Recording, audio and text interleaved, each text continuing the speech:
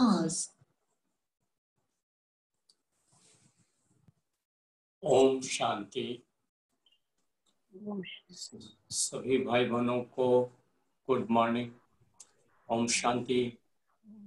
ओम शांति। मेरे बाप दादा सर्वोच्च सत्ता सुप्रीम टीचर आज आप सभी को हैप्पी टीचर्स डे बहुत बहुत आप सभी को बधाई। सुप्रीम टीचर है शिव बाबा, वो हम सभी बच्चों को सुप्रीम टीचर बन करके रोज हम सभी बच्चों को टीच करते हैं। तो आज प्यारे बाप दादा का महावाक्य विशेष सुनाने के लिए हमारे बीच में आदरणीय भ्राता अशोक भाई जी पधारे हुए हैं। बाबा का ये डबल जॉब करने वाले विशेष बच्चा है। लौकिक में भी बहुत अच्छे बाबा का सेवाधारी भी है। इंजीनियर के पोस्ट पर जॉब करते हुए बाबा के राइट हैंड है। और आज आप सभी के लिए विशेष भाई जी के द्वारा हम लोग महावाक्य सुनेंगे। आदरणीय अशोक भाई जी ओम शांति। ओम शांति। ओम शांति। ओम शांति। आज पाँच सितंबर 2020 है। जैसा कि रामदेव भाई जी ने बताया कि आज हम लोग पूरे भारतवर्ष में टीचर्स डे मना रहे हैं और भारतवर्ष में टीचर्स डे भारत के दूसरे राष्ट्रपति सर्वपल्ली राधाकृष्णन के जन्मदिन, जो 5 सितंबर 1988 फिर अठारह सौ अट्ठासी में हुआ था और वो एक बहुत अच्छे टीचर रहे हुए हैं। तो उनका एक बिलीव था कि teacher should be the best mind in the country मतलब जो टीचर है, वो देश का सबसे अच्छा सोच वाला व्यक्ति होता है। तो जैसे कि वो तो जो हमारे टीचर हैं, वो हद की टीचर हैं। तो हद की टीचर से हद की प्राप्ति होती है और बेहद के टीचर जो शिव बाबा हैं, उनसे हमें बेहद की प्राप्ति होती है। तो आइए, आज हम लोग बाबा की मुरली, जो बाबा ने आज हम इस मुरली के माध्यम से बता रहे हैं क्या क्या बताएँ, उसे क्या क्या प्राप्ति होगी? तो आइए इस बाबा का हम वाक्य सुनते हैं। बाबा आज बोल रहे हैं, मिठे बच्चे, इस बेहद के नाटक में, बाबा बोल रहे इस बेहद के नाटक में तुम आत्माओं को अपना अपना पाठ मिला हुआ है। अभी तुम्हें यह शरीर रूपी कपड़े उतार घर जाना है, फिर नए राज्य में जाना, आना है। तो बाबा बोल रहे हैं कि आज हम सभी आत्माओं का हम सब आत्माएँ तो अलग अलग हैं। आज सभी आत्माओं का अपना अपना एक्यूरेट पार्ट मिला हुआ है और ये जो पुरानी दुनिया है, इस पुरानी रूपी दुनिया या पुरानी रूपी कपड़े को उतार कर हम फिर नई दुनिया में जाने का तैयारी करना है। आज बहुत सुंदर प्रश्न है बाबा का। बाबा हम लोग से पूछ रहे हैं, बाप कोई भी कार्य प्रेरणा से नहीं करते। बाप कोई भी कार्य प्रेरणा से नहीं करते, उनका अवतरण होता है। यह किस बात से सिद्ध होता है? मतलब बाबा पूछ रहे हैं, कोई भी कार्य, प्रेरणा, सोच से नहीं, उनका अवतरण होता है। उससे किसी शरीर में आकर फिर कर्मंदियों के द्वारा फिर बोलकर हमें ज्ञान देकर जाते हैं। तो किस बात से सिद्ध होता है? बाबा उत्तर दे रहे हैं, बाप को कहते ही करण करावन हार। मतलब सब कुछ करने वाला कौन है? शिव बाबा। प्रेरणा का तो अर्थ है विचार। प्रेरणा मतलब क्या? एक सोच। प्रेरणा से कोई नई दुनिया की स्थापना नहीं होती।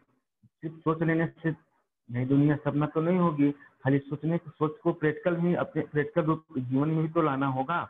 इसलिए प्रेरणा से कोई नई की दुनिया स्थापना नहीं होती। बाप बच्चों से स्थापना कराते हैं। किनसे करा रहे हैं? हमारे द्वारा करा रहे हैं। कर्मेंद्रिया बिगड़ तो कुछ भी नहीं कर, नहीं, कर्मेंद्रियों बिगड़ कुछ भी करा नहीं सकते।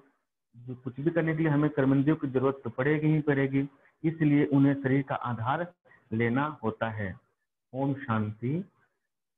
बाबा रूहानी बच्चों, रूहानी बाप के सामने बैठे हैं। रूहानी बच्चे, रूहानी बाप के सामने बैठे हैं। गोया आत्माएँ अपने बाप के सम्मुख बैठी हैं।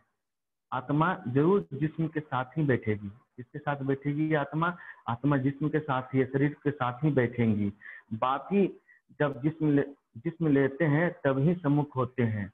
इसको ही कहा जाता है आत्मा परमात्मा अलग अलग अलग रहे। मतलब बाबा भी जब जिसम लेते हैं तभी हमारे सम्मुख बैठते हैं। तुम बच्चे समझते हो उससे उच्च बाप को ही ईश्वर प्रभु परमात्मा भिन्न भिन्न नाम दिए हैं। मतलब जो उससे उच्च बाप है उन्हीं को हम ईश्वर कोई अल्लाह बोल देते हैं प्रभु बोलते हैं परमात्मा बोल देते हैं। परम पिता कभी लौकिक बाप को नहीं कहा जाता। इनको कहा जाता है अलौकिक बाप को।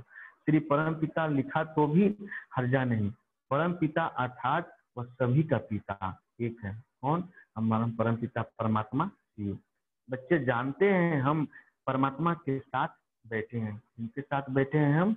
परम पिता परमात्मा के साथ।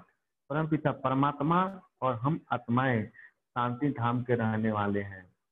हम सभी आत्माओं का मूल घर कहाँ है? शांति धाम, निर्वाण धाम, जिसको मूल वतन भी कहते हैं। और हम हम सब आत्माएँ परमपिता परमात्मा के साथ में कहाँ पर रहते हैं? शांति धाम में।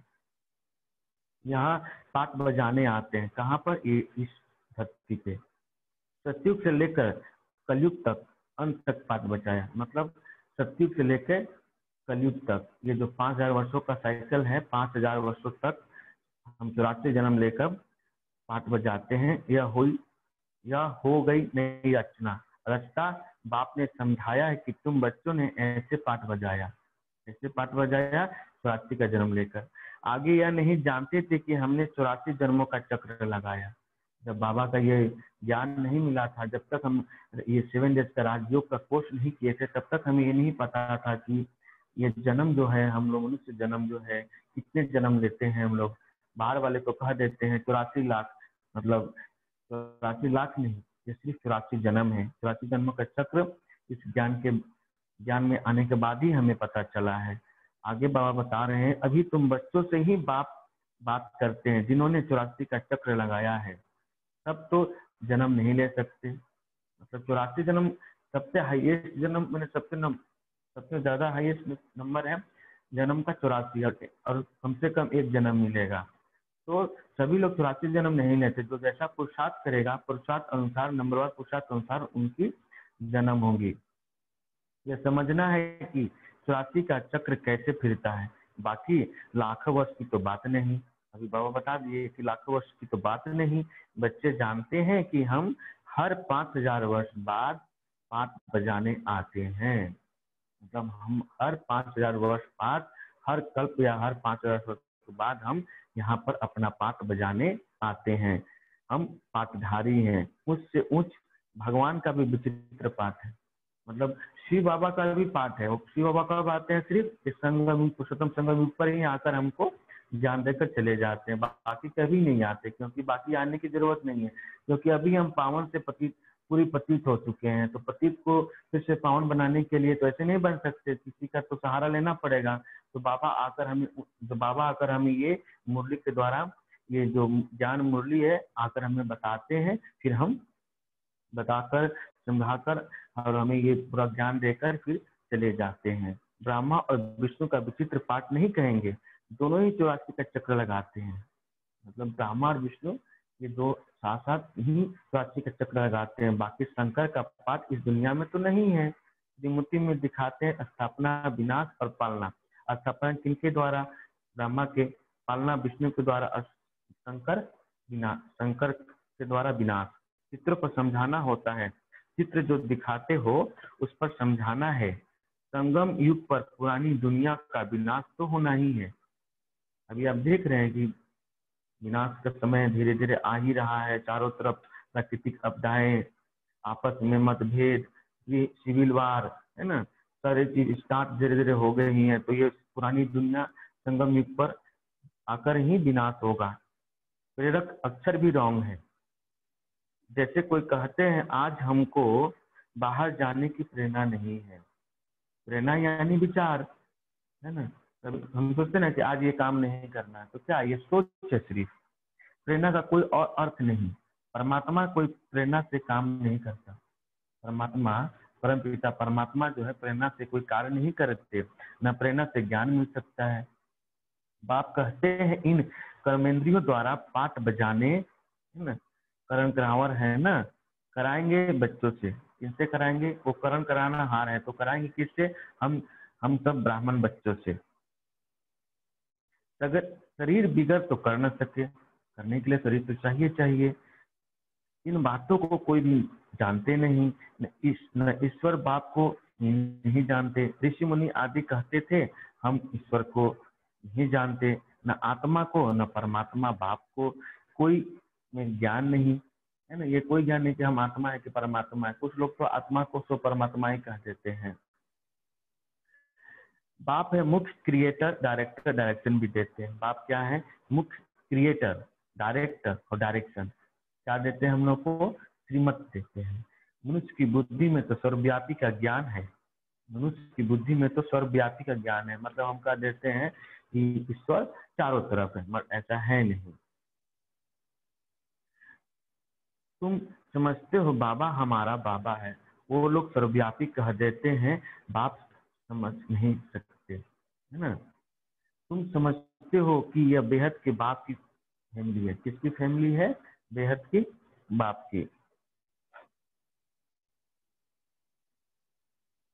सर्वव्यापी कहने से फैमिली की खुशबू नहीं आती, है ना? जो फैमिली की खुशबू होती है, अगर हम उनको बोले कि ईश्वर कन कन में है तो खुशबू नहीं आती। उनको कहा जाता है, निराकारी शिव बाबा। निराकारी आत्माओं का बाबा। मतलब ये निराकारी आत्माओं का बाबा। शरीर है तब आत्मा बोलती है बाबा।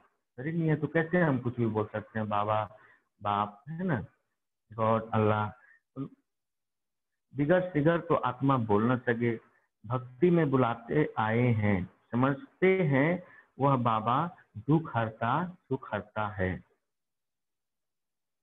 सुख मिलता है कहाँ पे? सुख धाम में। शांति मिलती है, शांति धाम में। सुख कहाँ मिलेगा हम लोगों को? सतयुग में। और शांति कहाँ मिलेगी? शांति धाम में। या है ही दुख। कहाँ पे? इस इस धरती पे, इस समय जो कलयुग की दुनिया है। यह ज्ञान तुमको मिलता है संगम पर, पुराने और नए के बीच में। यह ज्ञान कब मिलता है? पुराने और नए। मतलब संगम क्या होता है? पुराना और नया के बीच का समय। जैसे कलयुग का अंत और सतयुग का आरंभ। उसको बोलते हैं संगम युग।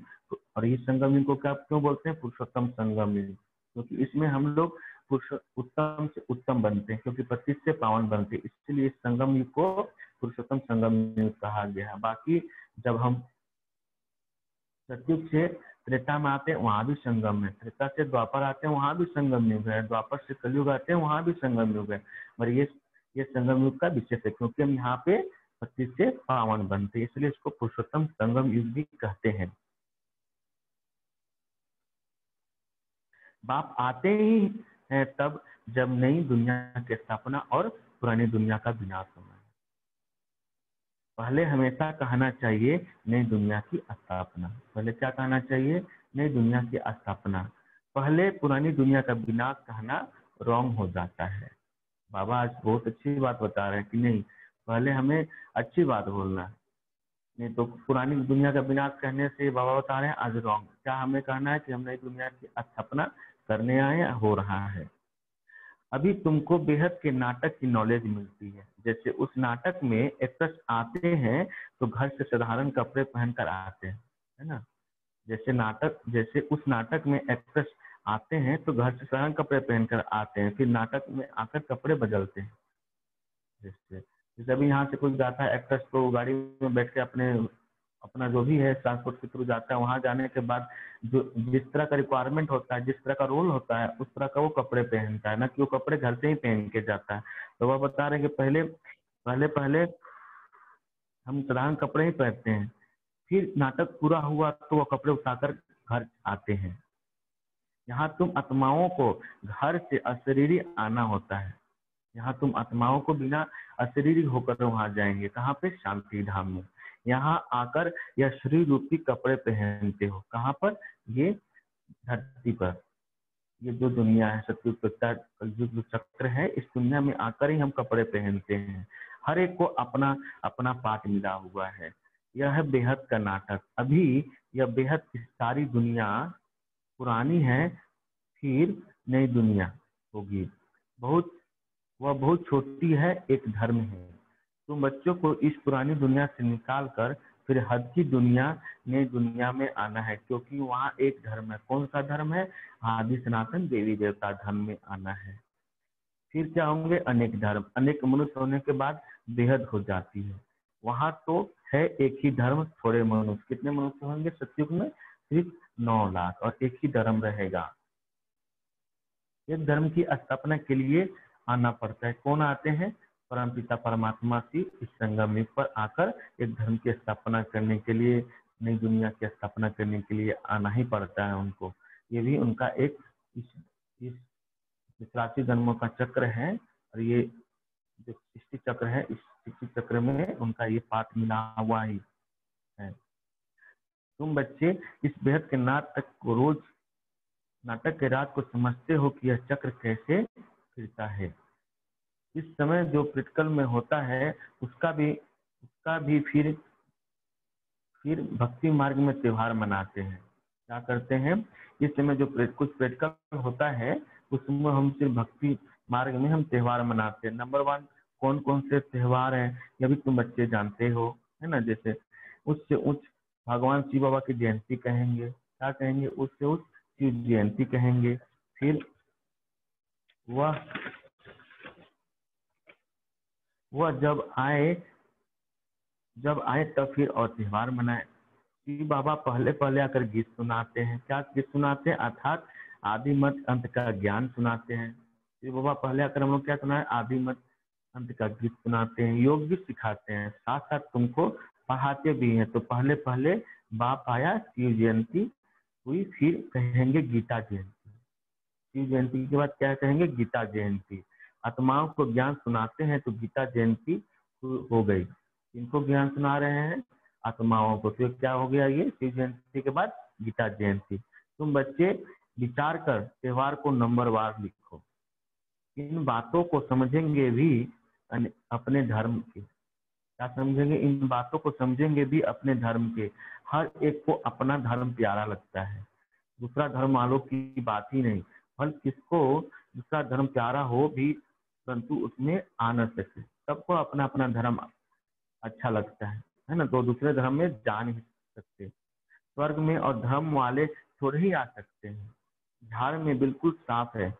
जो जो धर्म जिस समय आते हैं, फिर उस समय आएँगे। जैसे कि ये जो जो सेवन डे के कोर्स में कल वृक्ष है तो कल वृक्ष में बताया गया है कि सबसे पहले कौन आया? उसके बाद कौन सा धर्म आया? सबसे पहले इस्लाम धर्म आया, उसके बाद बौद्ध धर्म आया फिर मुस्लिम आया फिर शंकराचार्य का धर्म आया, संन्यास धर्म आया, फिर उसका जैन धर्म आया तो ये सब जितने भी धर्म है, इस्लाम धर्म, फिर बौद्ध धर्म, क्रिश्चियन धर्म, ये सारे जितने भी धर्म है, वो सब अपने अपने समय पे आएँगे ही आएँगे। पहले बाप आते हैं, फिर वही आकर राजयोग सिखलाते हैं तो कहेंगे शिव जयंती तो गीता जयंती, फिर क्या होगा? नारायण जयंती। वो तो हो जाता है सतयुग। क्या हो जाता है? सतयुग नारायण जयंती, है ना? अभी हम लोग गीता जयंती मनाएँगे मना रहे हैं। वो भी लिखना लिखना पड़े नंबरवार यह ज्ञान की बातें हैं। शिव जयंती कब हुई? वो अभी पता नहीं। ज्ञान सुनाया, जिसको गीता कहा जाता है, फिर विनाश भी होता है। जगत अम्बा अम्बा आदि की जयंती का कोई हॉलीडे नहीं है। ना? उनकी नाम पे कोई छुट्टी नहीं है। किसी भी तिथि तारीख आदि को बिल्कुल नहीं जानते। लक्ष्मी नारायण सीता के राज को ही नहीं जानते। लक्ष्मी नारायण का राज कब शुरू होता है? सतीक और सीताराम सीताराम का राज्य त्रेता को। ये बाहर वाले लोग जानते ही नहीं पच्चीस वर्ष में जो आए, पच्चीसों वर्ष में जो आए, उनको जानते हैं, परंतु उनसे पहले जो आदि सनातन देवी देवता थे, उनको कितना समय हुआ? कुछ भी नहीं जानते। मतलब पच्चीस को तो कुछ कुछ लोग जानते हैं जब से शास्त्र आदि लिखे गए मगर उससे पहले क्या हुआ, कैसे कितना समय हुआ, वो लोग कुछ भी नहीं जानते। पाँच हज़ार वर्ष से बड़ा कल्प तो हो न सके। समय का चक्र है, पाँच हज़ार वर्षों का ही है। ये हमारे सेवन डेज़ कोर्स में बहुत अच्छी तरह से समझाते हैं, समझाया गया है। बाबा ने बहुत अच्छी तरह से इसको, इस इस गुहे गुहे बातों को बहुत अच्छी तरह से साइंटिफिक और धार्मिक दोनों रूप से समझाया गया कि पाँच वर्षों का ही कल्प है, इससे बड़ा कोई कल्प है नहीं। आधा तरफ़ तो ढेर संख्याएँ आ गई, बाकी आधा इनका राज्य। आधा मतलब आधा कल्प। आधा कल्प सिर्फ़ तैतीस हज़ार करोड़ तैतीस हज़ार करोड़ देवी देवता होते हैं, अब टू त्रेता के अंत में। उसके बाद अभी देखिए कितना वृद्धि हो गया। फिर जास्ती वर्षों का कल्प हो कैसे सकता? चौरासी लाख जन्म भी नहीं हो सकता। वो लोग समझते हैं कि कलयुग की आयु लाखों वर्ष है। मनुष्य को अंधियारे में डाल दिया है है ना? मनुष्य को अंधियारे में डाल दिया है। कहा सारा ड्रामा पाँच हज़ार वर्षों का है, कहा सिर्फ़ कलयुग के लिए कह देते हैं, अभी चालीस हज़ार वर्ष शेष है। देखिए, बाबा अभी बता रहे हैं कि कहा पाँच हज़ार वर्षों का है और कुछ लोग कह देते हैं कि अभी चालीस हज़ार वर्षों शेष है। तो मैं यहाँ पे छोटी सी कहानी बताकर बताना चाहता हूँ कि ये केसेस को समझ सकते हैं। समझिए कि हम बहुत छोटे थे, चार साल के थे तो हमारे लौकिक फादर ने कहानी लिखी और उस कहानी में लिखा कि मेरे बारे में कुछ वर्णन किए। बोलने कि ये फलना, ये अशोक अशोक भाई इतने साल के, चार साल के थे, इस समय ये सब कुछ कुछ हुआ। और अभी मान लीजिए, वही चीज़ को मैं अभी पढ़ रहा हूँ तो क्या अशोक अभी चार साल का है? लौकिक आयु अभी तो चार साल का नहीं है, अभी तो चौतीस साल, पैंतीस साल हो गया। तो ये चीज़ें तो जो शास्त्र भी लिखे गए, उसमें सयुग सच में कलयुग बच्चा था, थोड़ा सा ही बच्चा था। बच्चा था हमारा अभी बच्चा नहीं है है ना? बहुत बुढ़ा हो गया फिर भी बाहर वाले कहा कह देते हैं कि अभी चालीस हज़ार वर्ष पूरा हुआ है। नहीं ऐसा नहीं है। आप इस, इस कहानी समझ सकते हैं कि शास्त्र के समय तो लिखा सही में कुछ आ, बच्चा था हमारा कलयुग अभी है नहीं। तो अभी बहुत थोड़ा सा समय थोड़ा में भी थोड़ा रह गया है कलयुग फिर सत्य की दुनिया स्थापना होगी। जब लड़ाई लगती है तो समझते हैं, भगवान को आना चाहिए। क्या हो रहा बाबा बता रहे हैं आगे? जब लड़ाई लगती है तो समझते हैं भगवान को आना चाहिए, लेकिन भगवान को तो आना कब आना चाहिए? संगम पर। महाभारत लड़ाई तो लगती है ही। किससे? संगम पर। कब कब महाभारत लड़ाई होती है? अभी, न कि द्वापर युग में। बाप कहते हैं, मैं भी कल्प कल्प संगम युग पर आता हूँ। बाप क्या कहते हैं परम पिता परमात्मा से कि मैं कल्प कल्प इसी संगम युग पर आता हूँ। बाप आएँगे नई दुनिया की स्थापना पुरानी दुनिया का विनाश कराने नई दुनिया की स्थापना होगी तो पुरानी दुनिया का विनाश ज़रूर होगा। इसके लिए यह लड़ाई है। किसकी लड़ाई है ये? कि पुरानी दुनिया से पुरानी दुनिया को विनाश कर नई दुनिया की स्थापना करने की लड़ाई है। इसमें शंकर की शंकर के प्रेरणा आदि की कोई बात नहीं। अंडरस्टूड पुरानी दुनिया खलास हो जाएगी है ना? अंडरस्टूड पुरानी दुनिया खलास हो जाएगी। मकान आदि तो अर्थक्वेक में सब खलास हो जाएँगे क्योंकि नई दुनिया चाहिए अर्थक्वेक में सब कुछ खत्म हो जाएँगे। नई दु, नई दुनिया थी ज़रूर दिल्ली परिस्थान थी। दिल्ली जमुना का कंठा था। दिल्ली में मतलब दिल्ली जो है अभी वो परिस्थान मतलब सत्युग था। सत्युग का दूसरा नाम है पाकिस्तान है ना? लक्ष्मी नारायण का राज था। चित्र भी है। लक्ष्मी नारायण को स्वर्ग का ही कहेंगे? तुम बच्चे ने प्रचार भी किया कि यह कैसे स्वयंबर होता है ना? कैसे स्वयंबर होता है? यह सब पॉइंट बाबा रिवाइज कराते हैं अच्छा पॉइंट याद नहीं पड़ती तो बाबा को याद करो, है ना? अच्छा पॉइंट अगर याद नहीं पड़ती तो किसको याद करना है? शिव बाबा को याद करना है? बाप भूल जाता है तो टीचर को याद करो, है ना? बाप याद नहीं है तो टीचर को याद करो टीचर भूल जाता है, सदगुरु को याद करो। टीचर तो सिखलाते हैं, वो भी ज़रूर याद आएगा ना। टीचर भी याद रहेगा नॉलेज भी याद रहेगी। तो जिस भी बुद्धि में है, याद रखना ही पड़े, क्योंकि तुम्हारी स्टूडेंट लाइफ है ना। इनकी हमारी तो स्टूडेंट लाइफ है, याद तो रखना पड़ेगा। शिव बाबा की जो ये मुरली में अच्छे अच्छे जो पॉइंट बता रहे हैं हम लोगों को, ये भी जानते हो, जो हमको पढ़ाते हैं, वो हमारा बाप ही है। लौकिक बाप कोई गुम नहीं हो जाता। लौकिक, पारलौकिक और फिर यह है अलौकिक, है ना? तो कितने हो गए? लौकिक पारलौकिक और फिर यह अलौकिक बाप इनको कोई याद नहीं करते। लौकिक बाप से तो वारसा मिलता है। अंत तक याद रहती है। जैसे देखते हैं, फादर को जब भी हमें कुछ ज़रूरत होता है तो धन की ज़रूरत होता है तो किसको अभी याद करते हैं पापा को। तो वही बाबा बता रहे हैं कि अंत तक हमें बाबा अब लौकिक फादर की बात होता है। उसी तरह से हमको हमेशा जब भी कुछ की आवश्यकता हो तो हमें किसकी याद करना हो? परम पिता परमात्मा की तो उससे सब कुछ मिलेगा। तो अंत तक याद रहती है। शरीर छोड़ा फिर दूसरा बाप मिलता है है ना? अभी जिस इस शरीर में है तो ये फादर, लौकिक फादर मिले। जब ये शरीर पुरानी हो जाएगी तो जब नहीं, शरीर में जाएँगे तो दूसरा फादर मिलेगा। जन्म बाई जन्म लौकिक बाप मिलते हैं। जन्म बाई जन्म, लौकिक बाप मिलते हैं। पारलौकिक बाप को भी दुख, सुख में याद करते हैं।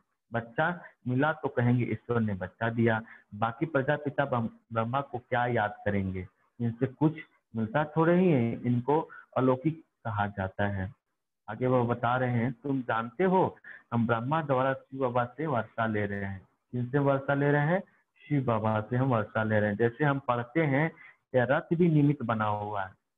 मतलब जैसे हम पढ़ते हैं भी रथ बना हुआ है सबसे पहले शिव बाबा किसके रथ, किसका रथ यूज़ किया? ब्रह्मा बाबा, जो, जिनका नाम लौकिक था लेखराज बाबा। उसके बाद दूसरा कौन बने? दादी गुलजहार। तो बहुत जन्मों के अंत में इनका शरीर ही रथ बना। रथ का नाम तो रखना पड़ता है ना? यह बेहद का संन्यास। रथ कायम ही रहता है, बाकी का ठिकाना नहीं। चलते चलते फिर क्या हो जाते भगंती हो जाते हैं। यह रथ को तो मुकरर है ड्रामा अनुसार इनको कहा जाता है भाग्यशाली रथ। क्या कहा जाता है? ये रथ मुकरर है। दूसरा, कोई रथ नहीं हो सकता। यही रथ रहेगा हर कल्प में, हर पाँच हज़ार वर्षों के बाद। तो ये इनको कहा जाता है भाग्यशाली रथ। तुमको, तुम सबको भाग्यशाली रथ नहीं कहेंगे। भाग्यशाली रथ एक माना जाता है, जिसमें बाप आकर ज्ञान देते हैं।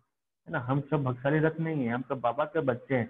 भाग्यशाली रथ किनको बोला जाता है? जिनके तन में आकर बाबा ज्ञान दे के जाते हैं तभी तो ब्रह्मा बाबा और दूसरा गुजरात राज्य के तन में आए तो ही भाग्यशाली रथ है। स्थापना का कार्य कराते हैं किनमें कैसे? भाग्यशाली रथ में आकर स्थापना का कार्य कराते हैं। तुम भाग्यशाली रथ नहीं ठहरे तुम आत्मा इस रथ में बैठती हैं। आत्मा पवित्र बन जाती है, इसलिए बलिहारी इस तन की है जो इसमें बैठ पढ़ाते हैं। यह अंतिम जन्म बहुत वैल्यूबल है, फिर शरीर बदल हम देवता बन जाएँगे। क्या बन जाएँगे? हम देवता बन जाएँगे। इस पुराने शरीर द्वारा ही तुम शिक्षा पाते हो। इस पुराने शरीर द्वारा, इस पुराने द्वारा हमें शिक्षा मिलती है। शिव बाबा के बनते हो। तुम जानते हो हमारी पहली जीवन वर्थ नॉट ए पेनी थी। क्या थी हमारी पहली जीवन नॉट ए पेनी थी? अब पाउंड बन रही है।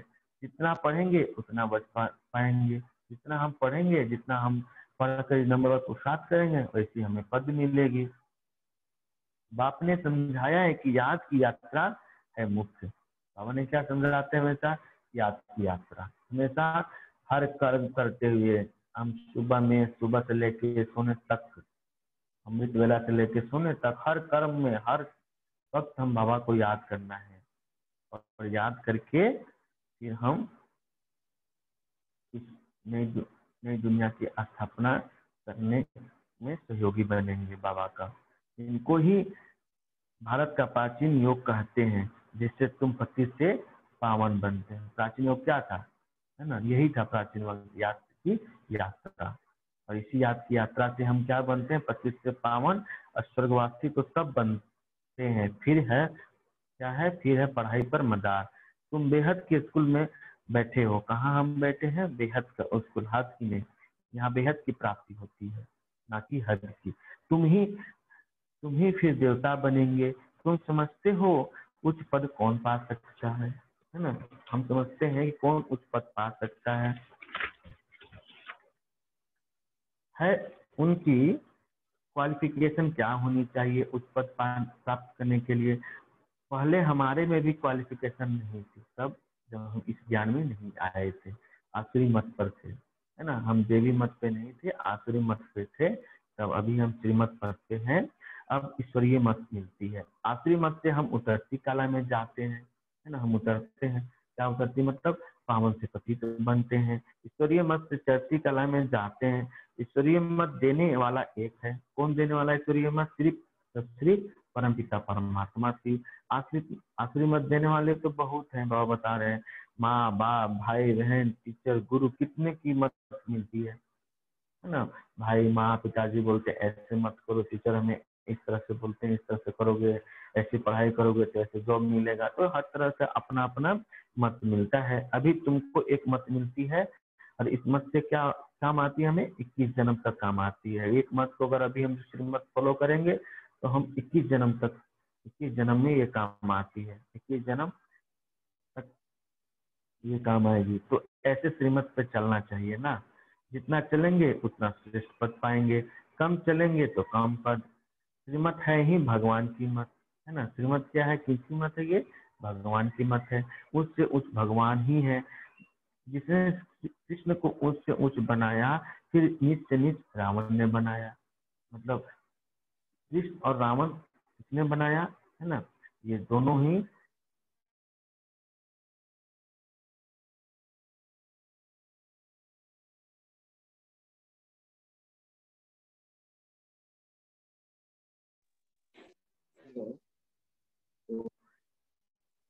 जितना हम चलेंगे, उतना शेष पद पाएँगे। कम चलेंगे तो कम पद। जिमत है ही भगवान। उच्च से उच्च भगवान ही है। जिसने कृष्ण को ऊंच से ऊंच बनाया नीच से नीच रावण ने बनाया, है ना? बाप गोरा बनाते हैं, फिर रावण सावरा बनाते हैं। बाप हमें क्या बनाते हैं गोरा? और रावण क्या बनाते हैं? सावरा। बाप वर्षा देते हैं, वह तो है ही वाइसलेस क्या है? वह तो है ही वाइसलेस देवताओं की महिमा गाते हैं, स्वर्गुण संपन्न, सोलह कला संपूर्ण। सन्यासी को संपूर्ण निर्विकारी नहीं कहेंगे। क्या कहेंगे? निर्विकारी नहीं कहेंगे। सत्युग में आत्मा और शरीर दोनों पवित्र होते हैं। क्या होते हैं सत्युग में? आत्मा और आत्मा शरीर दोनों पवित्र होते हैं। अभी क्या है? आत्मा और शरीर दोनों पतीत हैं। देवताओं को सब जानते हैं। वो संपूर्ण निर्विकारी होने के कारण देवताओं को सब जानते हैं। जो संपूर्ण निर्विकारी होने के कारण संपूर्ण संपूर्ण विश्व के मालिक बनते हैं। अभी नहीं। कि तुम बनते हो। बाप भी संगम ऊपर ही आते हैं। कब आते हैं? संगम ऊपर ही आते हैं।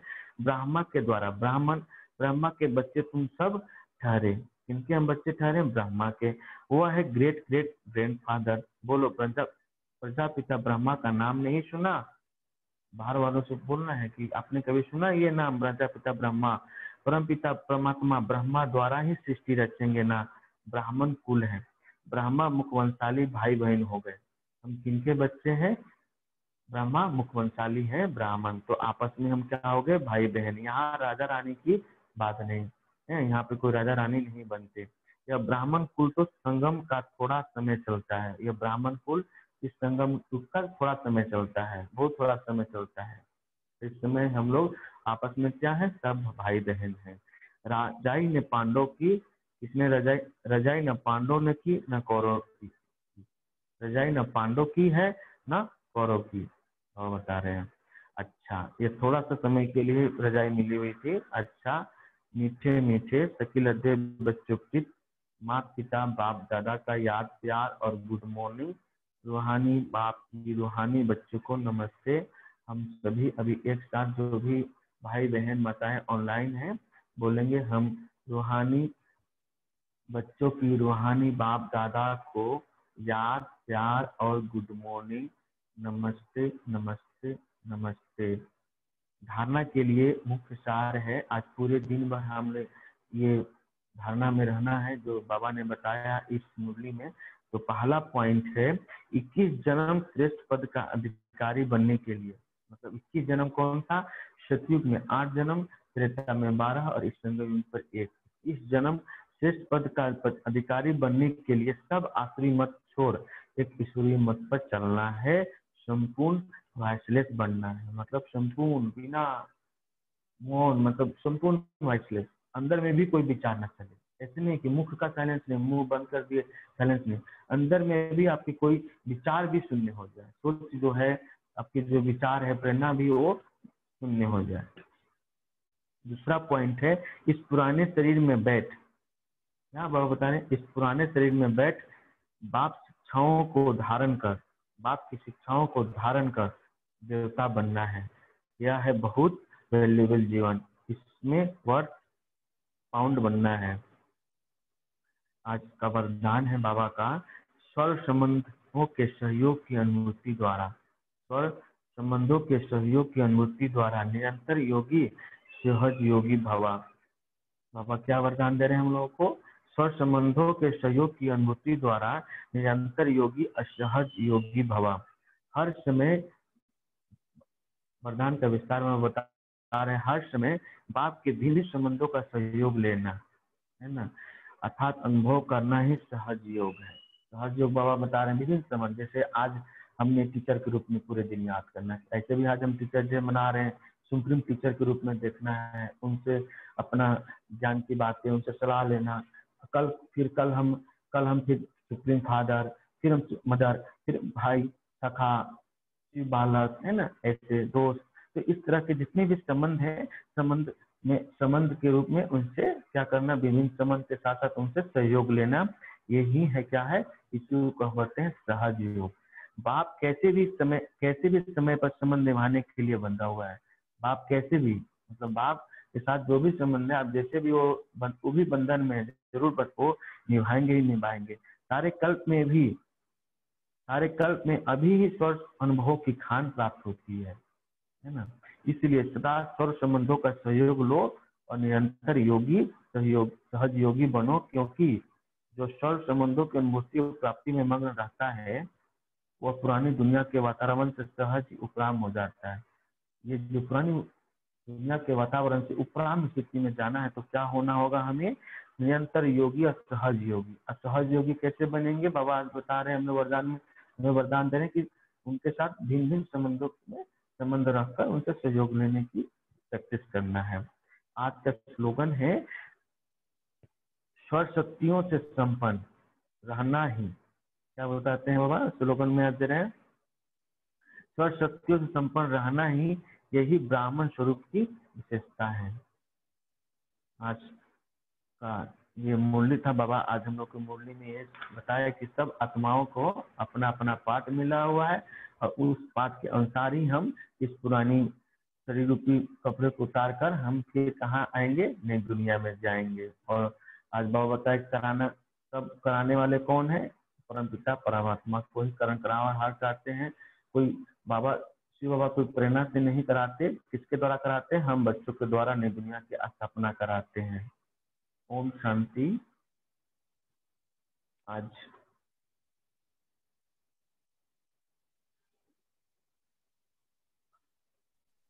ओम शांति।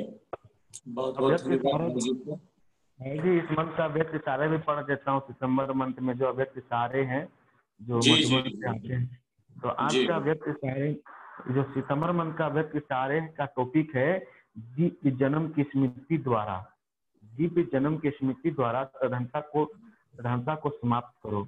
असाधारण बनना है हम लोगों को। तो आज तारीख है पाँच तो आज का पॉइंट है बाबा का।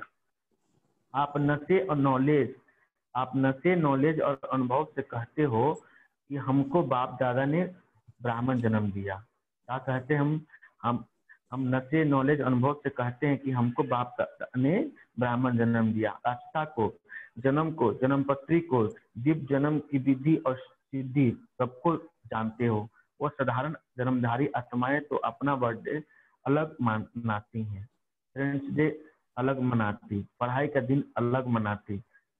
और आपका बर्थडे भी वही तो मेरे डे पढ़ाई का दिन भी वही है। मदर डे कहो, फादर डे कहो इंगेजमेंट डे को सब एक ही है। संगम युग इस महान जन्म की विशेषता भी है और क्या है ये? विचित्रता भी है। ओम शांति।